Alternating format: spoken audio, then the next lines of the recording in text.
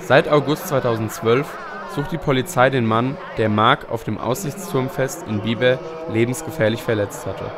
Seit diesem Vorfall ist Mark vom Hals abwärts gelähmt. Nun startet die Polizei eine neue Offensive und erhält hierbei Unterstützung vom OFC. Beim Pokalspiel gegen Wien Wiesbaden wurden die Zuschauer darum gebeten, zur Aufklärung der schrecklichen Tat mögliche nützliche Hinweise an die Polizei weiterzugeben. Für OFC-Stadionsprecher Olaf Kruse ist diese Art von Hilfe selbstverständlich. Wir sind natürlich angesprochen worden, ob wir in einem Rahmen von einem Heimspiel diese Aktion unterstützen können.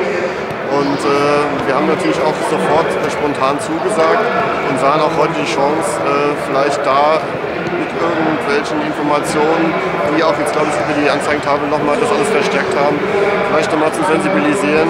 Der Fall liegt ja schon äh, längere Zeit zurück und vielleicht gibt es doch eine Möglichkeit, jemanden zu finden, der was weiß, der was mitbekommen hat. Das ist ja auch in Biber passiert. Manchmal ist es so, dass man halt äh, da bestimmte äh, Möglichkeiten hat, da was zu identifizieren. Marc selbst ein glühender OFC-Fan, appellierte in einer Videobotschaft an die Zuschauer, ihm zu helfen und den Täter endlich zu ergreifen.